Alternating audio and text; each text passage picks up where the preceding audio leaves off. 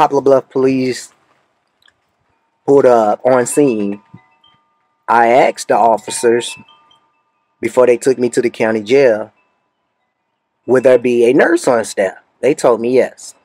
I was arrested on a Friday afternoon.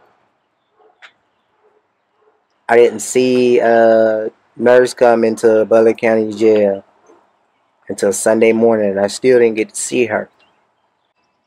So once I get to the county jail, there's no nurse on staff because I told them I was a diabetic, I had high blood pressure, and many more medical issues. So I guess I was having a diabetic seizure or whatever in the county jail, and I was constantly, constantly, constantly, constantly begging and pressing the panic button for medical attention because I knew I was going to die, but I was refused. And after so much of begging and pressing the panic button for medical attention, I was pulled out of the holding cell and put in a restraint chair, which I didn't understand. But thank God there is a God that I'm here today.